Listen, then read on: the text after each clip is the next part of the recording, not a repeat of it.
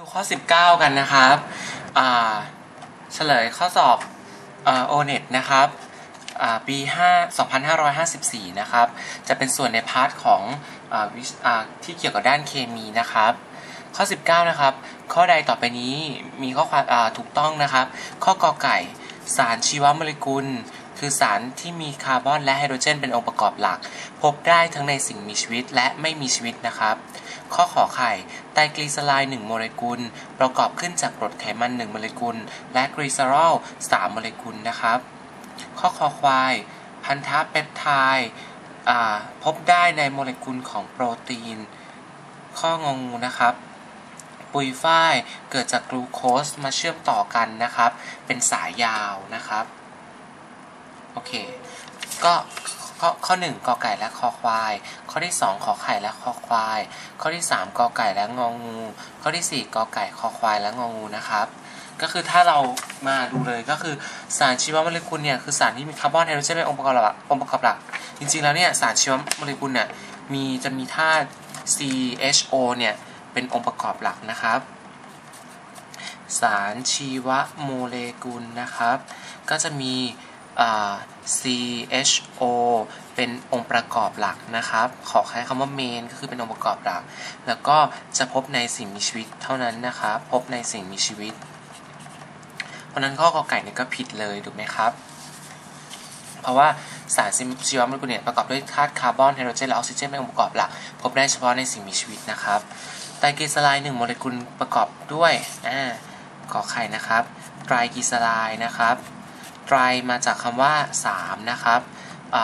กลีเซอไรด์มาจากคำว่ากลีเซอรอลนะครับ เพราะฉะนั้นไตรก็คือ 3 อะไรเป็น 3 นะครับ ก็คือปกติไตรกลีเซอไรด์หรือพวกไขมันน้ำมันนี่เองนะครับ ไขมันน้ำมันนี่เอง เราจะเรียกว่าไตรกลีเซอไรด์เกิดจากอะไรไตรเนี่ยกลีเซอไรด์ก็คือกลีเซอรอลนั่นเองนะครับ บวกกับไตรมาจาก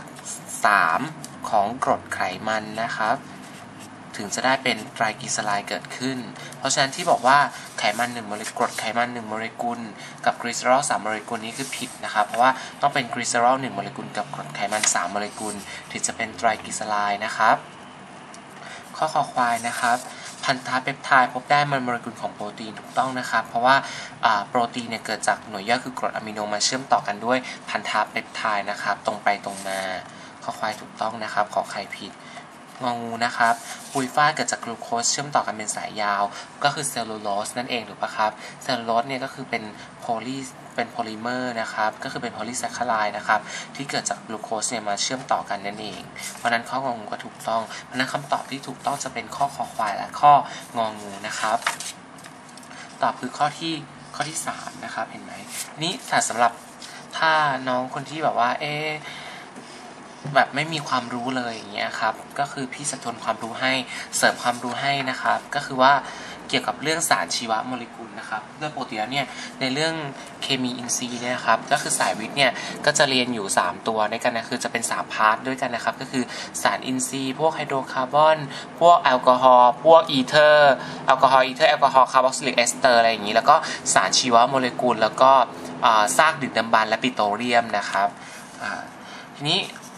มาดูสารชีวโมเลกุลนะครับ พี่จะทวนเกี่ยวทวนเกี่ยวกับสารชีวโมเลกุลว่าคืออะไรนะครับ สารชีวโมเลกุลหรือภาษาอังกฤษที่เรียกว่า bio แปลว่าชีวะชีวะนะครับ แล้วก็ molecules นะครับ คือ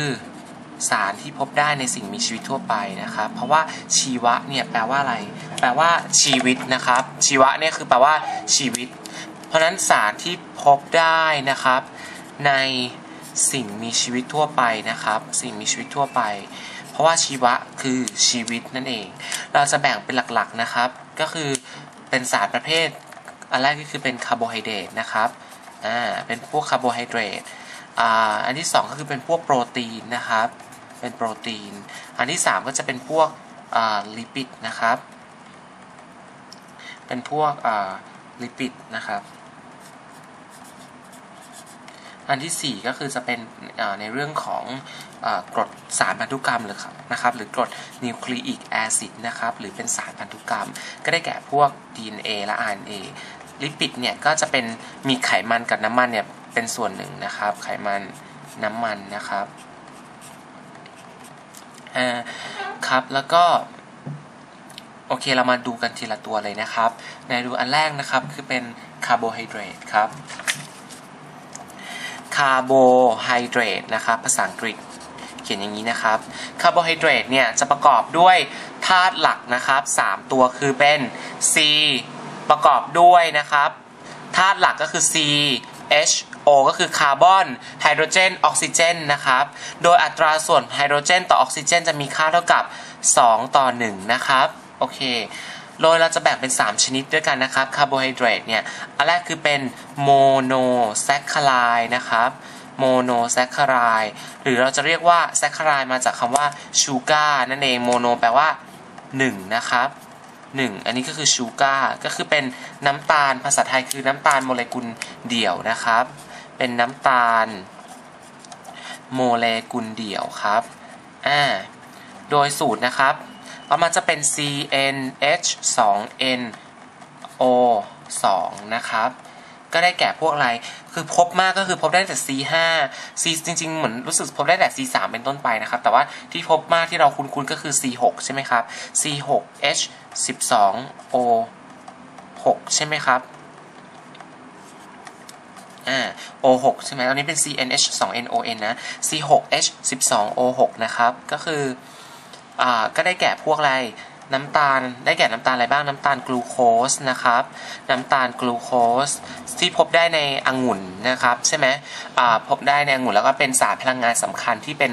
เป็นน้ำตาลหลักที่ร่างกายเราเอาไปใช้ในการผลิตพลังงานนะครับ อันที่ 2 คือน้ำตาลฟรุกโตสนะครับฟลักโตสหรือฟรุกโตสก็ได้ น้ำตาลฟลักโตสเนี่ยก็คือน้ำตาลที่หวานนะครับ ก็คือพบในผลไม้ทั่วไปแล้วก็ในน้ำผึ้งนะครับ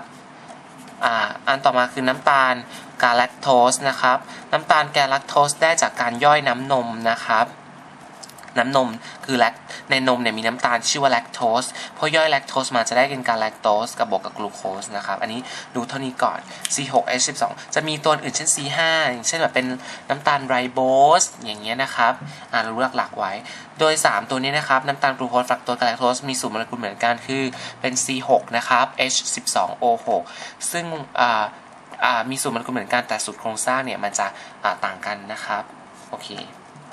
ต่อมานะครับ มาดูตัวต่อมาก็คือ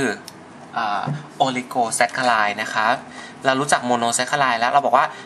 มี 3 ชนิดนะครับ แบ่งตาม 3 ชนิดโมโนแซคคาไรด์ที่ 2 เป็นโอลิโกแซคคาไรด์นะครับ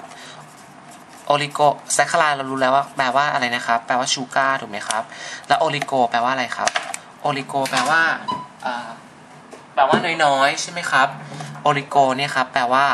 น้อยๆ เพราะฉะนั้นก็คือเป็น น้ำตาลโมเลกุลน้อยๆนะครับ ก็คือประกอบด้วยน้ำตาลโมเลกุลเดี่ยวเนี่ยครับ น้ำตาลโมเลกุลเดี่ยว คือเกิดจากน้ำตาลโมเลกุลเดี่ยวเนี่ยครับ ประมาณ2ถึง10 โมเลกุลนะครับอ่าโดยเราจะรู้จักไดแซคคารายน้ำตาลโมเลกุลคู่ใช่ไหมครับ ถ้าแยกมาคือไดแซคคารายนะครับ ไดแปลว่า2นะครับ ไดแซคคารายคือ น้ำตาลโมเลกุลคู่นะครับ น้ำตาลโมเลกุลคู่ ก็สูตรนะครับเป็น C10 คือน้ำตาลโมเลกุลคู่เนี่ยเเกิดจากน้ำตาลโมเลกุลเดี่ยว 2 โมเลกุลมาเชื่อมต่อกันนะครับ ด้วยพันธะหนึ่งแล้วก็ได้น้ำออกมานะครับ เป็น C6H12O6 นะครับ บวกกับ C6H12O6 จะได้มาเป็น C12H 22O11 นะครับ เห็นไหมอัตราส่วน H ต่อ O ยังเป็น 2 ต่อ 1 แต่ว่าน้ำเนี่ยมันออกมานะครับ บวกได้น้ำก็คือ 1 โมเลกุล เพราะนั้นน้ำตาลโมเลกุลคู่เกิดจากน้ำตาลโมเลกุลเดี่ยว 2 โมเลกุลได้บวกได้น้ำออกมานะครับ ก็ได้แก่อะไรบ้าง เช่นน้ำตาลมัลโทสนะครับ น้ำตาลมัลโทสน้ำตาลอะไร น้ำตาลซูโครสนะครับ ซูโครสแล้วก็น้ำตาลแลคโตสนะครับ น้ำตาลแลคโตสอ่าโดยน้ำตาลมัลโทสเนี่ยเกิดจากอะไร เกิดจากกลูโคส2โมเลกุลมาบวกกันนะครับ เกิดจากกลูโคส2โมเลกุลทำปฏิกิริยากันนะครับซูโครสเนี่ยเกิดจากอะไร เกิดจากน้ำตาลกลูโคสนะครับกับน้ำตาลฟรุกโตสนะครับ ต้องจำได้นะครับซูโครสก็คือน้ำตาลทรายหรือน้ำตาลในอ้อยใช่ไหมครับเอ่อแลคโตสนะครับแลคโตสก็คือ เป็นน้ำตาลกลูโคสจำได้ไหมคือแลคโตสเป็นน้ำตาลที่พบในนมนะครับ เวลาย่อยออกมาก็จะได้กลูโคสบวกน้ำตาลกาแลคโตสนะครับ อันนี้ก็คือจะต้องจำได้มัลโตสก็จะพบในพวกอยอดข้าวหรือว่าพวกเมล็ดที่กำลังงอกนะครับซูโครสก็คือน้ำตาลทรายที่เราใช้กันอยู่นี่เองนะครับ ก็เป็นน้ำตาลอ้อยมาสปิดมาจากอ้อยใช่ไหมครับแลคโตสก็คือเป็นน้ำตาลที่พบในนมนะครับ ซึ่ง 3 ตัวนี้เป็นน้ำตาลโมเลกุลคู่ ถ้า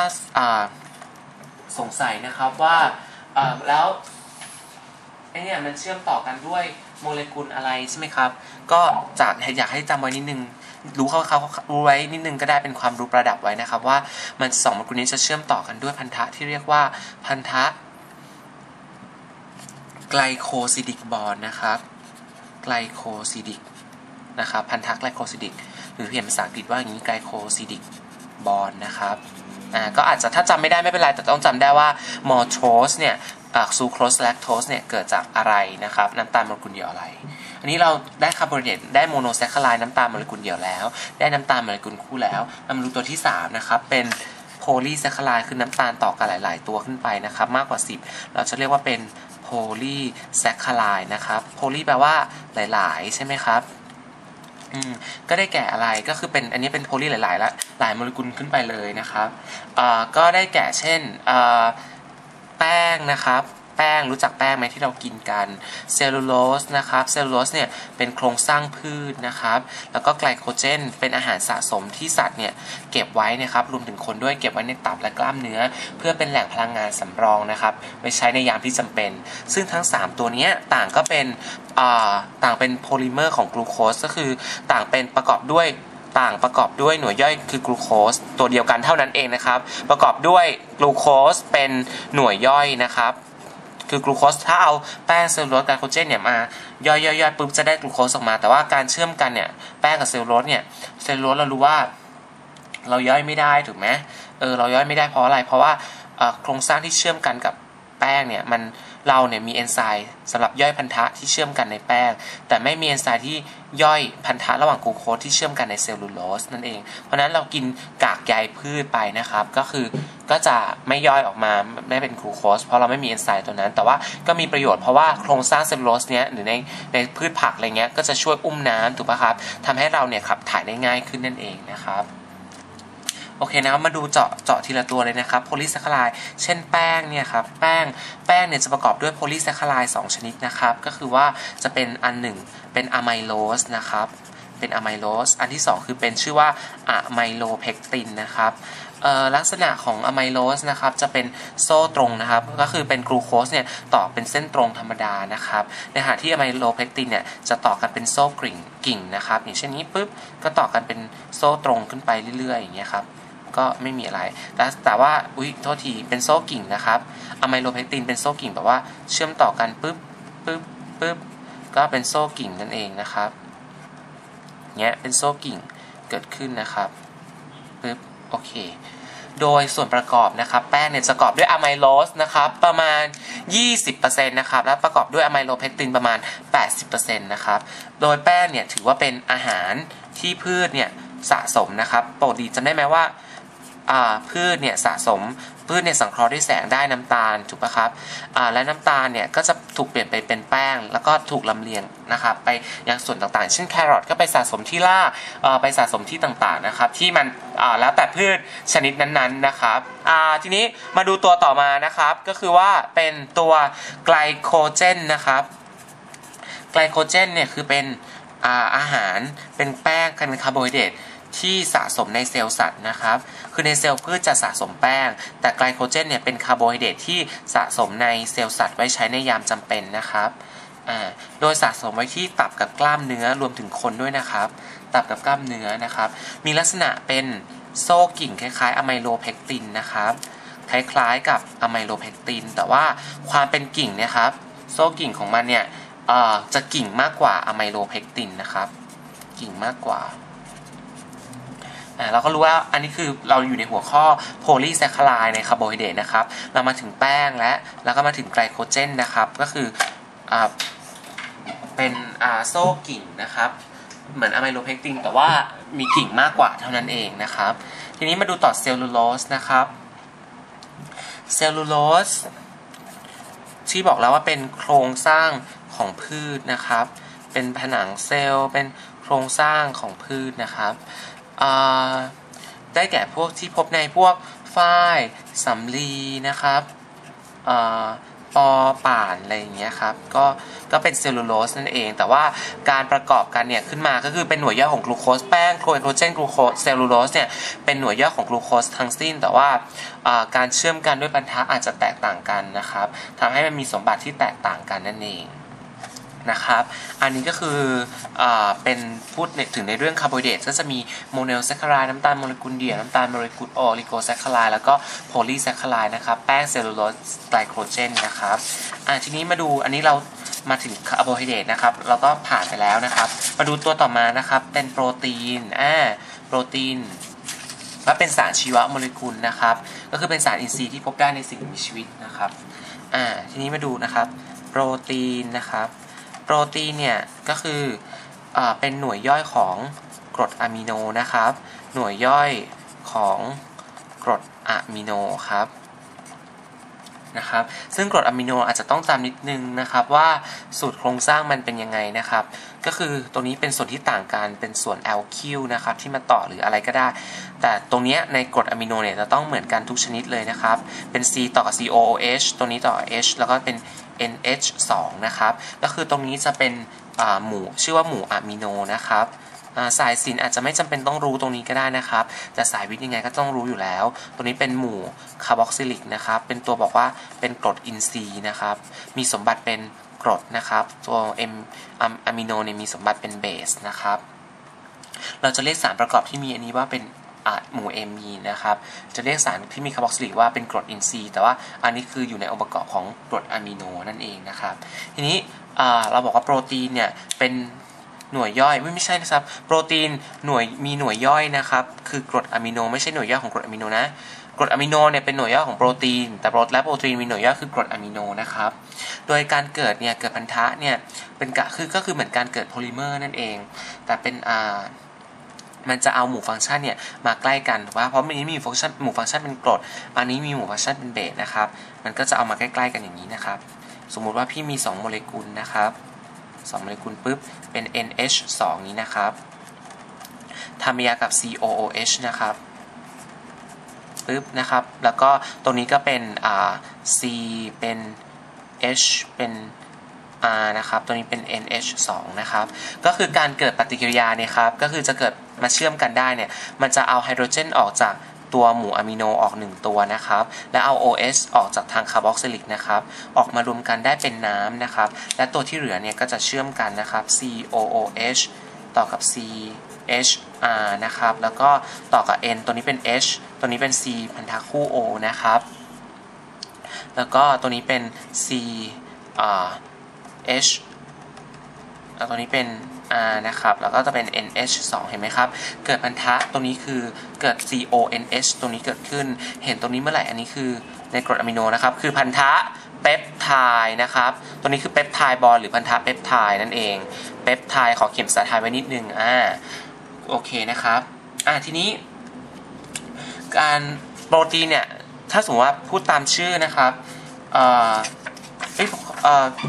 พูดถึงการทดสอบนิดนึงนะครับ ย้อนกลับไปนิดนึงจะไม่สมบูรณ์นะครับเอามาพูดถึงขอพูดถึงการทดสอบนิดนึงนะครับ การทดสอบแป้งนะครับที่เราที่เราเนี่ยเรียนเรียนกันนะครับ ขอนิดนึงการทดสอบแป้งหรือคาร์โบไฮเดรตนะครับการทดสอบแป้งก็คือเอาแป้งนะครับบวกกับสารละลายไอโอดีนถูกไหมครับซึ่งสารละลายไอโอดีนเนี่ยจะมีสี น้ำตาลนะครับ เพราะเป็นไอโอดีในเป็นสารละไอโอดีในโพแทสเซียมไอโอดานะครับ มีสีน้ำตาล พอเอาแป้งบดสีน้ำตาลปุ๊บก็จะกลายเป็นสีม่วงแกมน้ำเงินถูกไหมครับ สีม่วงแกมน้ำเงิน ทีนี้แต่อีกตัวหนึ่งที่อาจจะไม่รู้นะครับก็คือการทดสอบโปรตีนการทดสอบไกลโคเจนนะครับ คิดว่าการทดสอบไกลโคเจนเนี่ยใช้อะไร การทดสอบไกลโคเจนก็ใช้ ใช้ไอโอดีเหมือนกันนะครับ ที่เขาจะทดลองว่าเอาตับ เพราะมันสะสมในตับ เอาตับหมูมาบดแล้วก็ใส่สารละลายไอโอดีนเข้าไปนะครับ แต่สีที่เปลี่ยนเนี่ยจะกลายเป็นสี สีแดงนะครับ ก็คือให้รู้ว่ามีไกลโคเจนอยู่ อันนี้คือการทดสอบนะครับอ่าทีนี้มาดูขออ่าโปรตีนนิดนึงนะครับ ก็คือจะเป็นหน่วยย่อยคือกรดอะมิโนนั่นเองถูกไหมอืมโดยถ้าสมมติว่าอะมิโนกรดอะมิโนหนึ่งตัวเนี่ยครับ ปุ๊บเราก็จะเรียกว่าตัวนี้ถ้ามีโมเลกุลเดียวก็คือกรดอะมิโนถูกปะแต่ว่าถ้ามี 2 โมเลกุลของกรดอะมิโนมาเชื่อมกันเนี่ยเราจะเรียกว่าเปปไทด์นะครับมีมี2หน่วยก็คือเรียกว่าไดเปปไทด์ไดแปลว่า 2 นะครับไดเปปไทด์แต่ว่าระวังดีๆ ไม่ใช่เปปไทด์บอลนะไดเปปไทด์หมายความว่าเป็นกรดอะมิโน 2 ตัวมาเชื่อมต่อกันนะครับไดเปปไทด์แต่ถามว่ามีกี่มีกี่พันธะเปปไทด์มี 1พันธะเปปไทด์เท่านั้นนะครับ อย่าสะสมว่าเออไดเปปไทด์เนี่ยเออคือมีพันธะเปปไทด์สองพันธะเนี่ยไม่ใช่นะครับ ก็คืออ่านตามชื่อว่ามี 2 หน่วยกรดอะมิโนก็เรียกว่าไดเปปไทด์โดยมี 1 พันธะนะครับ มีกรดอะมิโน 3 ตัวมาเชื่อมต่อกัน เราก็จะเรียกว่าไตรเปปไทด์นะครับไตรเปปไทด์นะครับไตรเปปไทด์ก็มี 3 พันธะเปปไทด์เอ๊ะ เป็นดะเป็นไตรเปปไทด์ก็จริง แต่ว่ามี 2 พันธะเปปไทด์เท่านั้นนะครับ อย่าสับสน แล้วก็เอ่อถ้ามากกว่าถ้ามากมากก็เป็นโพลีเปปไทด์แล้วก็ถ้ามากกว่าเท่าไหร่ไม่รู้พี่จำไม่ได้ว่า 5,000 มวลโมเลกุลมากกว่า 5,000 หรือเปล่าถึงจะเรียกว่าเป็นโปรตีนนะครับ โอเค ต้องคือต้องเป็นมวลโมเลกุลมากๆนะครับ ก็คือเชื่อมต่อกันเป็นสายยาวๆมวลโมเลกุลมากๆเนี่ยเราถึงจะเรียกว่าโปรตีนได้นะครับ อ่าโอเคนะครับ ทีนี้มาดูการทดสอบนะครับ การทดสอบโปรตีนจะทดสอบด้วยอะไรนะครับ การทดสอบโปรตีนเนี่ยจะทดสอบด้วยสารละลายไบยูเรตนะครับ สารละลาย ไบยูเรตหรือเรียกว่าไบยูเรต test นะครับ เป็นการทดสอบโปรตีนนะครับ ก็คือเปปไทด์สายสั้นๆนะครับ ก็คือหรือเราจะเรียกว่าเป็นคอปเปอร์ซัลเฟตในเบสนะครับ หรือเช่นโซเดียมไฮดรอกไซด์อย่างเงี้ย ก็ถือว่าเป็นเบสเขาอาจจะไม่บอกไบยูเรตมานะครับเอาบอกอาจจะบอกเป็นคอปเปอร์ซัลเฟตในเบสเนี้ย ก็อาจจะต้องรู้นิดนึงว่าคือสารละลายสารละลายไบยูเรตนั่นเอง เพราะนั้นถ้าเอาโปรตีนนะครับบวกกับไบยูเรตนะครับก็จะได้ ซึ่งไบยูเรตเนี่ยเป็นสารลายสีฟ้านะครับ ก็จะได้สารลายที่เป็นสีสีม่วงออกมานะครับ ก็ทดสอบว่าเออมีโปรตีนอยู่ในในสารอาหารที่เราทดสอบทำการทดสอบนะครับโอเคนะครับ อันนี้คือเป็นเรื่องของโปรตีนนะครับ ก็คือมีหน่วยย่อยเป็นกรดอะมิโนนั่นเอง ทีนี้เราผ่านไป2อ่าสารชีวโมเลกุลเราผ่านไป 2 ตัวแล้วนะครับ ก็คือคาร์โบไฮเดรตนะครับ แล้วก็โปรตีนนะครับ มาถึงลิปิดนะครับ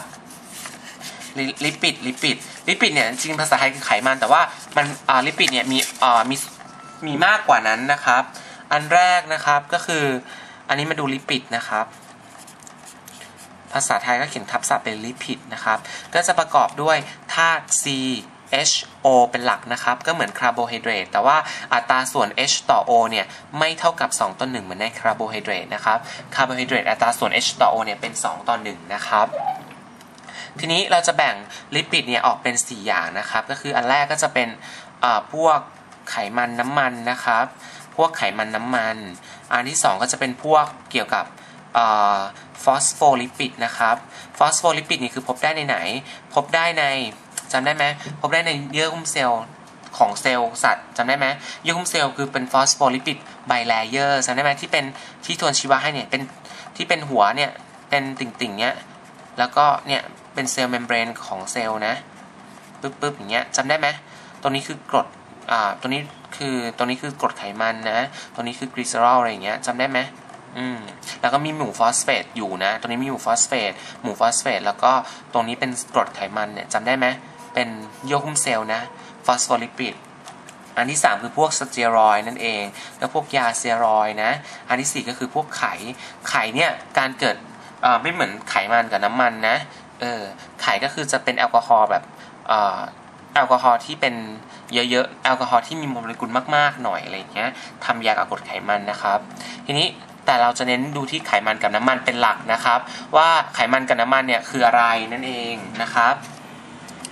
ไขมันนะครับกับน้ำมันนะครับ กับน้ำมัน คืออะไรก็คืออ่า จริงๆแล้วคือเป็นคือไตรกลีเซอไรด์นั่นเองนะครับ เป็นไตรกลีเซอไรด์นะครับโดยคือไตรกลีเซอไรด์คือเป็นเป็นสารประเภทเอสเตอร์จำได้ไหมเป็นสารเอสเตอร์นะครับ โดยเกิดปฏิกิริยา esterification นะครับ โดยเกิดปฏิกิริยา esterification จากกรดอ่ากรดจากกรดกรดไขมันนะครับ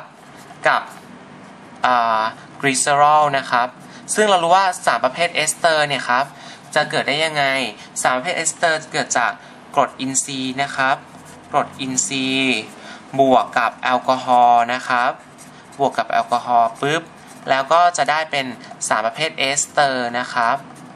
บวกกับโมเลกุลของน้ำกรดไขมันก็คือเป็นกรดอินทรีย์นั่นเองนะครับ เป็นกรดอินทรีย์ แอลกอฮอล์ที่ใช้เราจะเป็นใช้เป็นกลีเซอรอลคือมี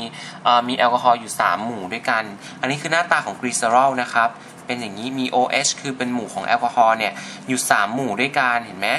เออแล้วทีนี้ก็กรดอินทรีย์เนี่ยใช้ 3 โมเลกุลในทำปฏิกิริยากับ OH แต่ละตัวถูกไหมเออก็จะได้เป็น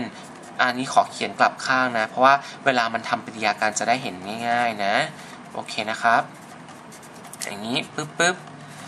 ต้องใช้กรดไขมัน 3 โมเลกุลเลยเป็นที่มาของคำว่าไตรกลีเซอไรด์นะครับนี้การก็บอกแล้วเอสเตอร์มันจะเอาไฮโดรเจนจากหมู่แอลกอฮอล์หรือ OH เนี่ยออก จะเอา H จากหมู่ไฮดรอกซิลหรือหมู่แอลกอฮอล์ออก 1 ตัว ในขณะที่จะเอา OH ออกจากหมู่กรดอินทรีย์เนี่ยหรือหมู่คาร์บอกซิลิกเนี่ย1 ตัวได้น้ำถูกไหมครับดังนั้นก็จะรวมกันปุ๊บได้เป็น CH2 นะครับ O C ดับพันธะคู่ O แล้วก็ R อย่างเงี้ยครับ ต่อมา CHO CO R อย่างนี้ครับ CH2O C พันธะคู่ O R อย่างนี้ ก็อันนี้คือเป็นมาจากกรดไขมัน3โมเลกุลนะครับ ก็จะชื่อว่าไตร เพราะไตรแปลว่า 3 ใช่ไหมครับ แล้วก็เขียนว่ากลีเซอรอลก็คือเพี้ยนเป็นกลีเซอไรด์นั่นเองไตรกลีเซอไรด์นะครับ ก็คือเป็นไขมันที่พบที่สะสมในมนุษย์ในร่างกายมนุษย์ด้วยนะครับ ที่อ้วนลงพุงอะไรอย่างนี้ เพราะนั้นได้กับ 3 โมเลกุลน้ำมาอีก 3 ตัว อันนี้คือเป็นกลไกการเกิดไขมันกับน้ำมันนะครับ ก็คือเป็นไตรกลีเซอไรด์ทั้งคู่ แต่นี้อ้าวและไขมันกับน้ำมันเนี่ยมันมีความแตกต่างกันยังไงล่ะอ่านะครับ ก็คือทุกตัวคือ ไม่ว่าไขมันหรือน้ำมันเนี่ยต้องประกอบด้วยกลีเซอรอลเหมือนกันกลีเซอรอลเนี่ยก็ก็ก็คือมีเหมือนกันทั้งไขมันและน้ำมันนะครับ แต่ตัวที่ต่างกันคือกรดไขมันนั่นเองทำให้มันเออทำให้มันเป็นไขมันหรือน้ำมันนั่นเองคำว่าไขมันกับน้ำมันเนี่ยต่างแตกแตกต่างกันยังไงนะครับ ไขมันกับน้ำมันเนี่ยไขเนี่ยเราจะใช้เรียกเป็นชื่อของแข็งที่อุณหภูมิห้อง ว่าเออเนี่ยในที่อุณหภูมิห้องเนี่ยมันมีสถานะเป็นของแข็งถูกปะครับ แล้วก็จะไขเนี่ยแปลว่าของแข็ง น้ำแปลว่าของเหลวถูกไหมเออ ก็แสดงว่าเอาคร่าวๆว่า ที่อุณหภูมิห้องนะครับ ที่อุณหภูมิห้องมีสถานะไขมันเนี่ยจะที่อุณหภูมิห้องคืออุณหภูมิ 25 องศา ไขมันมีสถานะเป็นของแข็งหรือเรียกภาษาอังกฤษว่า solid นะครับ ในขณะที่น้ำมันมีสถานะเป็นของเหลวหรือเรียกว่า liquid นะครับอ่าทีนี้เอ่อ ทีนี้อองค์ประกอบหลักนะครับอองค์ประกอบที่ต่างกันนะครับไขมันเนี่ยกับน้ำมันเนี่ยต่างประกอบด้วยกรีเซอรอลเหมือนกันทั้งหมดทั้งคู่ถูกไหมก็ต่างกันที่กรดไขมันโดยไขมันเนี่ยเกิดจากกรดไขมัน อิ่มตัวเป็นหลักนะครับ อิ่มตัวเป็นหลัก ในขณะที่น้ำมันเนี่ยจะประกอบด้วยกรดไขมัน ไม่อิ่มตัวนะครับ เป็นหลักไม่อิ่มตัวหลักเป็นหลัก คือจะมีกรดไขมันไม่อิ่มตัวและอิ่มตัวผสมกันอยู่บ้าง แต่อัตราส่วนเนี่ยกรดไขมันไม่อิ่มตัวเนี่ยจะมากกว่ากรดไขมันอิ่มตัวก็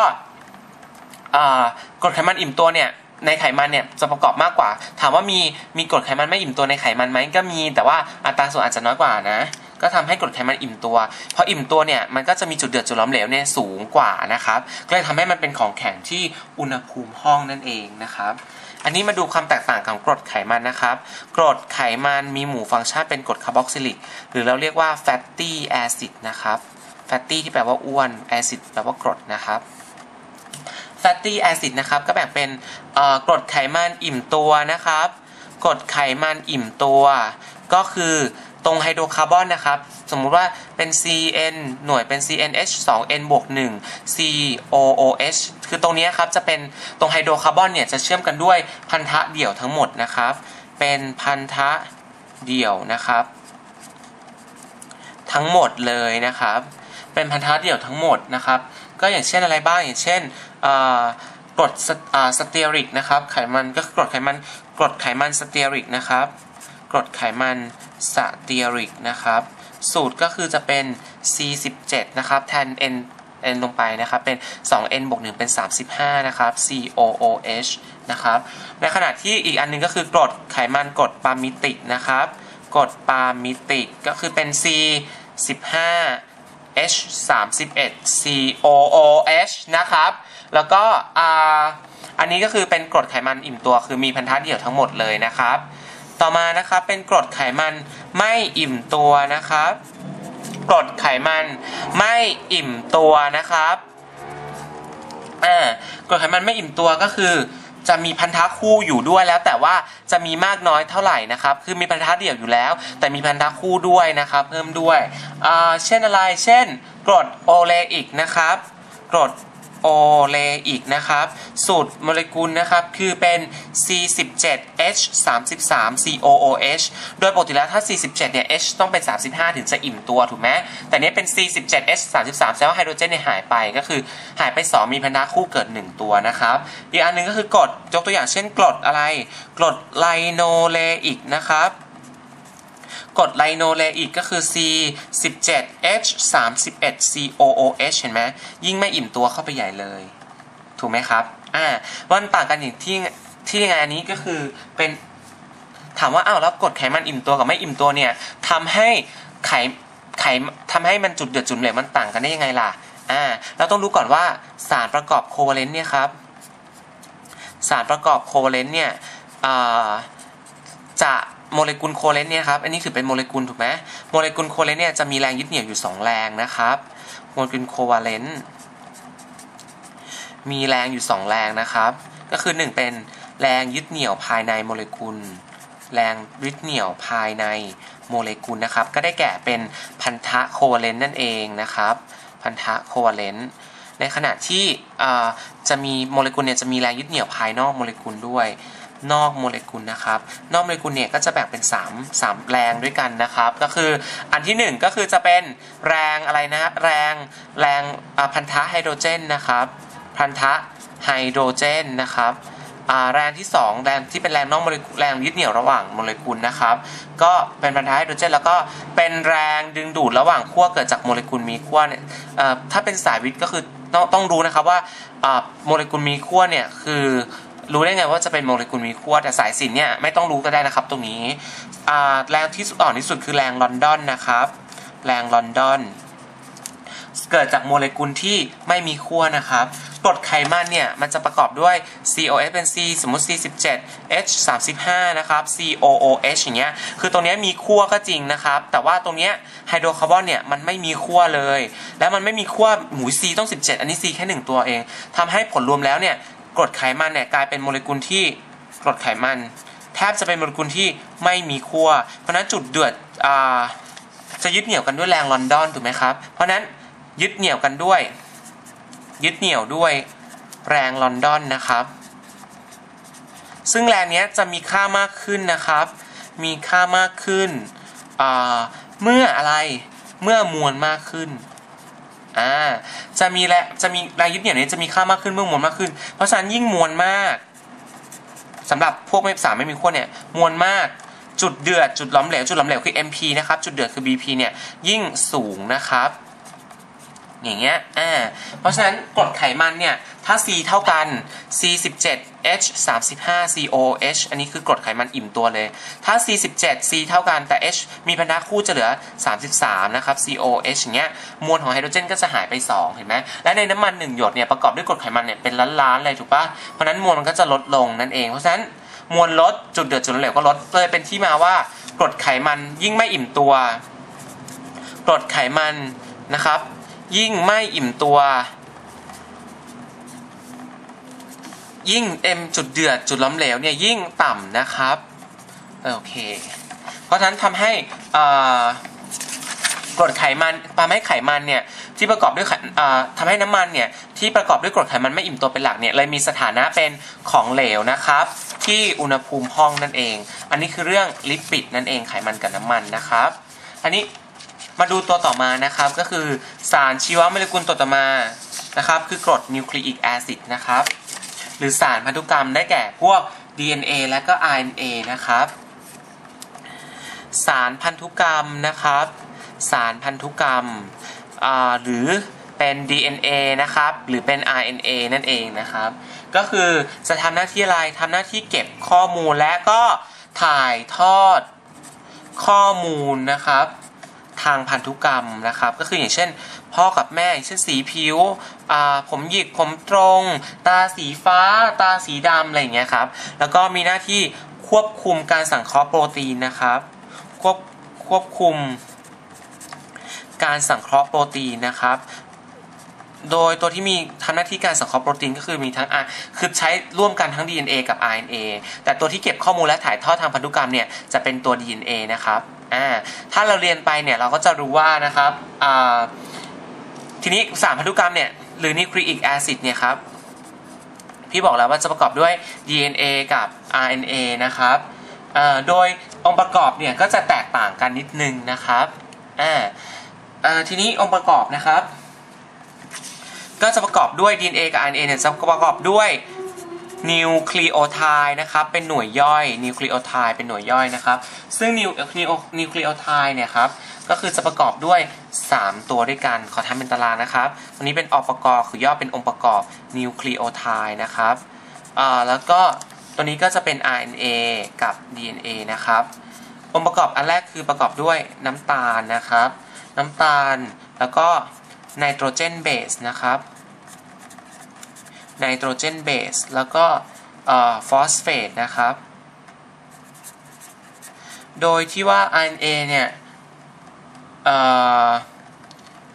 น้ำตาลเนี่ยครับ RNA จะเป็นน้ำตาล ไรโบสนะครับเป็นน้ำตาลไรโบสแต่ถ้า DNA จะเป็นน้ำตาลดีออกซิไรโบสมีการเสียออกซิเจนออกไปนะครับ เป็นดีออกซิไรโบสไนโตรเจนเบสเนี่ยจะเป็นเบส A จำย่อเป็นอะดีนีนะครับ เป็นเบส A เบส T ไทอามีนนะครับ เบส C ไซโตซีน เบส G กวนิดีนนะครับ แต่ถ้าเป็น RNA จะมีโทษทีนะครับ RNA เนี่ยจะเป็น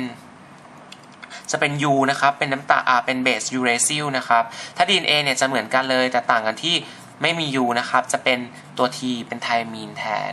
เป็นไทมีดีนนะครับ ตัวนี้เป็นมี A A U C G นี่ A T C G นะครับ ต่างกันที่ตัวนี้เท่านั้นเองนะครับ ตัวไนโตรเจนเบสนะครับฟอสเฟตนี่ครับก็คือเป็นหมู่ฟอสเฟตนะครับก็ก็มีทั้งคู่นะครับ และนี่ลักษณะสาย RNA เนี่ยจะเป็นสายเดี่ยวนะครับ แล้วก็ DNA จะเป็นสายคู่นะครับ พี่ก็จะมีรูปมาให้ดูนะครับ ข้อแตกต่างกัน DNA กับ RNA นะครับแตกต่างกันยังไง อันนี้คือเห็นไหมครับ อันนี้เป็นสายเดี่ยวนะครับ ประกอบด้วยเบส A U C G นะครับ อันนี้เป็นเบส A T C G นะครับ A ย่อมาจากอะดีนีนะครับ ก็มี อะดีนีอาจจะเล็กนิดนึงโครงสร้างของอะดีนีนะครับ อันนี้ก็เป็นโครงสร้างของกัวนีกัวนีนนะครับ อันนี้ไซโตซีนนะครับแล้วก็อันนี้ที่ต่างกันนะครับก็คือเป็นไทไทมีนนะครับ นี่คือไทมีนจะพบใน DNA แต่ถ้าในในใน RNA จะไม่มีไทมีนจะเป็นยูเรซิลนะครับ โครงสร้างก็ DNA จะเป็นสายคู่หรือเรียกว่า double strand นะครับ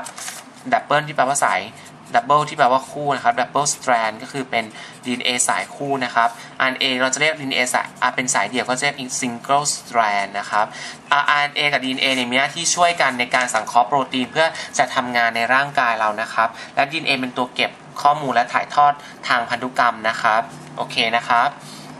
ทีนี้นะครับก็เราก็จะรู้ความแตกต่างและทีนี้พี่จะเสริมนิดนึงสำหรับสายวิทย์นะครับ ก็อาจจะลึกนิดนึงนะครับ ตรงนิวคลีโอไทด์ DNA เนี่ยครับกระบวนการนะครับ DNA ปกติเนี่ยจะมันจะเป็นจะเพิ่มจะเพิ่มจำนวนเซลล์เนี่ยมันจะต้องมีการ replication ตัวเองนะครับ เราจะเรียกว่าการ copy ตัวเอง หรือเรียกว่าการ replication นะครับเพิ่มจำนวนตัวเองปุ๊บนี้เวลามันจะแปลงมาเป็นโปรตีนเนี่ยเพราะ DNA เป็นตัวควบคุมให้ทำงานนะครับ ให้ร่างกายคนเราเนี่ยทำงานนะครับอย่างเช่น ควบคุมการสังเคราะห์เอนไซม์ย่อยอาหารอะไรอย่างเงี้ยครับโดย โดยทุกตัวมันต้องสังเคราะห์จากยีนนะครับ ซึ่งยีนเนี้ยจะเป็นข้อมูลพันธุกรรมที่อยู่ใน DNA ก็จะต้องถูกถอดรหัสนะครับ ออกมากลายเป็น mRNA นะครับเเราจะเรียกกระบวนการนี้ว่ากระบวนการ transcription นะครับ transcription ก็คือเป็นกระบวนการถอดรหัส คือถอดรหัสจาก R จาก DNA เนี่ยเป็น mRNA mRNA ย่อมาจาก messenger นะครับ messenger RNA ก็คือเป็นตัวที่นำข้อมูลเนี่ยออกจากนิวเคลียสนะครับ ตัวนี้คือนิวเคลียสนะครับออกจากนิวเคลียสมาปุ๊บเพื่อมาแปลรหัสในไซโตพลาซึมนะครับ ก็แปลรหัสได้มาเป็นโปรตีนออกมานะครับ ซึ่งตัวนี้จะเป็นตัวที่ทำงานต่อไปนะครับ โดยการแปลเราจะเรียกตัวนี้ว่าการ translation นะครับ หรือการแปลรหัสนั่นเอง แปลรหัสอันนี้เราต้องเข้าใจนะครับว่าการที่ร่างกายเราเนี่ยทำงานเนี่ยก็คือต้องโปรตีนเป็นตัวทำงาน แต่โปรตีนเนี่ยจะถูกควบคุมจากยีนนั่นเองทีหนึ่งซึ่งยีนเนี้ยจะอยู่ใน DNA นะครับ DNA ก็จะมีการเพิ่มจำนวนตัวเองนะครับ แล้วก็อ่าครับก็ มาดูนะครับก็คือว่าปกติตัวที่ทำงานตัวที่ควบคุมการทำงานต่างๆในร่างกายของเราจริง ๆ แล้วเนี่ยคือโปรตีนนะครับ แต่ว่าโปรตีนเนี่ยก็จะเป็นตัวที่ถูกควบคุมโดย DNA ทีนะครับ ก็คือมียีนที่กำหนดอยู่ใน DNA DNA มีการถอดรหัสหรือ transcription นะครับ ได้เป็น messenger RNA หรือเป็นตัวส่งข้อความนะครับ ออกมาแปลออกมาที่ไซโตพลาซึมออกนอกนิวเคลียสมาอยู่ที่ไซโตพลาซึมเกิดการแปลรหัสหรือ translation นะครับ ออกได้เป็นโปรตีน และเป็นตัวทำงานต่อไป อันนี้ก็คือสารพันเป็นพันธุกรรม สารพันธุกรรมนะครับ เป็นสารชีวโมเลกุลอย่างหนึ่งนะครับ โดยสรุปก็คือว่า สารชีวโมเลกุลเนี่ยก็คือจะสารคือสารที่พบได้ในสิ่งมีชีวิตทั่วไปนะครับ ประกอบด้วยธาตุคาร์บอนไฮโดรเจนออกซิเจนเป็นองค์ประกอบหลักก็ได้แก่คาร์โบไฮเดรตโปรตีนลิปิดแล้วก็สารพันธุกรรม nucleic acid นะครับอย่างเช่นคาร์โบไฮเดรตเนี่ยทวนคร่าวๆอีกทีหนึ่งก็คือประกอบด้วย CHO โดยอัตราส่วน H ต่อ O คือ 2 ต่อ 1 เช่นโมโนแซคคาไรด์น้ำตาลโมเลกุลเดี่ยวกลูโคสฟรุกโตสกาแลคโตสนะครับโอลิโกแซคคาไรด์ก็คือเช่นไดแซคคาไรด์เป็นต้นน้ำตาลโมเลกุลคู่มอลโทสซูโครสแลคโตสนะครับโพลีแซคคาไรด์เช่นแป้งเซลลูโลสไกลโคเจนต่างเป็นเป็นหน่วยต่างประกอบด้วยหน่วยย่อยเดียวกันคือกลูโคสนะครับแป้งก็จะเป็นอาหารสะสมในพืชนะครับประกอบด้วยโพลีแซคคาไรด์2ประเภทคืออะไมโลสอะไมโลเพกตินนะครับไกลโคเจนเป็นอาหารที่สะสมในเซลล์สัตว์ประกอบด้วยตับกับกล้ามเนื้อ มีลักษณะเป็นโซ่กิ่งเหมือนอะไมโลเพกตินแต่กิ่งมากกว่านะครับเซลลูโลสเป็นโครงสร้างพืชนะครับการทดสอบแป้งและไกลโคเจนจะใช้สารละลายไอโอดีนเหมือนกัน แต่ว่าแป้งจะได้สารละลายสีม่วงแกมน้ำเงิน แต่ว่าไกลโคเจนจะได้สารละลายสีแดงนะครับมาดูโปรตีนเมโปรตีนมีหน่วยย่อยเป็นกรดอะมิโนนะครับ โดยกรดอะมิโนมีหน้าตาอย่างนี้แล้วก็คือกรดโปรตีนเนี่ยเกิดจากกรดอะมิโนเนี่ยเชื่อมต่อกันนะครับ ด้วยพันธะเปปไทด์หลายตัวนะครับอ่าโดยการทดสอบโปรตีนจะใช้สารละลายไบยูเร็ตหรือคอปเปอร์ซัลเฟตในเบส เช่นโซเดียมไฮดรอกไซด์นะครับเอ่อโดยทดสอบไบยูเร็ตเป็นสีฟ้า ถ้ามีโปรตีนจะได้เป็นสารละลายสีม่วงนะครับลิปิดเนี่ยเป็น CHO เป็นองค์ประกอบหลักลิอ่าโปรตีนเนี่ยเป็น CHON นะครับ ลิปิดมีไขมันน้ำมัน มีฟอสโฟลิปิด มีสเตียรอยด์มีไขนะครับ มาดูที่ไขมันกับน้ำมัน ก็คือเป็นไตรกลีเซอไรด์เป็นเอสเตอร์นะครับ เกิดจากกรดไขมันกรดกลีเซอรอลทำปฏิกิริยากันนะครับ โดยไขมันกับน้ำมันเนี่ยก็จะ ต่างกันโดยที่ไขมันเนี่ยมีองค์ประกอบหลักเป็นกรดไขมันอิ่มตัวในขณะที่น้ำมันเป็นกรดไขมันไม่อิ่มตัวเป็นหลักนะครับโดยกรดไขมันอิ่มตัวคือจะเป็นพันธะเดี่ยวทั้งหมดเช่นสเตียริกปาล์มิติกกรดไขมันไม่อิ่มตัวคือมีพันธะคู่อยู่ด้วยเช่นโอเลอิกไลโนเลอิกนะครับซึ่งจะทำให้จุดเดือดจุดหลอมเหลวเนี่ยต่ำลงนะครับอันนี้ก็คือเป็นสารชีวโมเลกุลต่อมาก็คือสารพันธุกรรม DNA RNA ก็ทำหน้าที่เก็บถ่ายทอดข้อมูลทางพันธุกรรมนะครับและนอกจากนี้ยังควบคุมการสังเคราะห์โปรตีนอีกด้วยนะครับก็จะประกอบด้วยหน่วยย่อยที่เรียกว่านิวคลีโอไทด์นะครับนิวคลีโอไทด์เนี่ยจะมีองค์ประกอบแตกต่างกันใน DNA กับ RNA นะครับ โดยน้ำตาล RNA จะเป็นน้ำตาลไรโบส DNA จะเป็นดีออกซิไรโบสไนโตรเจนเบสจะเป็น AUCG DNA จะเป็น ATCG ต่างกันที่กับ U นะครับฟอสเฟตมีทั้งคู่แต่ RNA เนี่ยจะเป็นสายเดี่ยว DNA จะเป็นสายคู่นั่นเองนะครับ ก็จะมี รูปร่างให้ดูนี่คือเป็น DNA นะครับ double strand สายคู่ อันนี้เป็น RNA เป็นสายเดี่ยวนะครับอ่าทีนี้มาดูนะครับว่าสรุปว่าข้อความต่อข้อใดต่อไปนี้ถูกต้องนะครับสารชีวโมเลกุลนี้คือสารที่ประกอบด้วยธาตุคาร์บอน ไฮโดรเจนเป็นองค์ประกอบหลักพบได้ในสิ่งมีชีวิตและไม่มีชีวิตก็คือไม่จริงนะครับ เพราะว่าชีวะคือเป็นชีวิต ชีวะโมเลกุลคือโมเลกุลที่พบในสิ่งมีชีวิตนะครับเพราะนั้นผิดตรงไม่มีชีวิตแล้วก็คือประกอบด้วยธาตุคาร์บอนไฮโดรเจนออกซิเจนเป็นองค์ประกอบหลักนะครับเพราะนั้นกอไก่ผิดอ่ากอไก่ผิดเห็นไหมก็จะเหลือข้อ 2 กับข้อ 3 แล้วแล้วก็ไปตัด choice ดูถ้าคิดตามตัด choice นะครับยังไงข้อคอมีอยู่ในทั้ง 2 ข้อถูกแน่ๆไปดูขอไข่กับงองูนะครับ บอกแล้วไตรกลีเซอไรด์ไตรกลีเซอไรด์เนี่ย ประกอบขึ้นนะครับ จากกรดไขมันหนึ่งโมเลกุลและกลีเซอรอลสามโมเลกุลนะครับ ซึ่งไม่จริงเลย เรารู้ว่าไขมันเนี่ยประกอบด้วยกรดอินทรีย์นะครับ คือคือกลีเซอรอลหนึ่งโมเลกุลกับกรดไขมันเนี่ยสามโมเลกุลนะครับ เพราะฉะนั้นต้องกลับกันนะครับ เพราะฉะนั้นขอไข่ผิดก็เลยตอบข้อ ข้อข้อสามคอควายแล้วงองูมาดูว่าทำไมถูกกันนะครับคอควายพันธะเปปไทด์พบในโมเลกุลของโปรตีนถูกต้องก็เป็นกรดอะมิโนเชื่อมต่อกันเนี่ยด้วยพันธะเปปไทด์ปุ๋ยฝ้ายเนี่ยเกิดจากกลูโคสเนี่ยเชื่อมเชื่อมต่อกันเป็นสายยาวก็คือเป็นเซลลูโลสนั่นเองนะครับก็คือเป็นโมเลกุลของกลูโคสมาเชื่อมต่อกันนั่นเองนะครับอ่าโอเคนะครับเพราะฉะนั้นคำตอบที่ถูกต้องคือข้อคอควายและข้ององูนะครับเพราะฉะนั้นตอบข้อที่ 3 นั่นเองโอเคนะครับ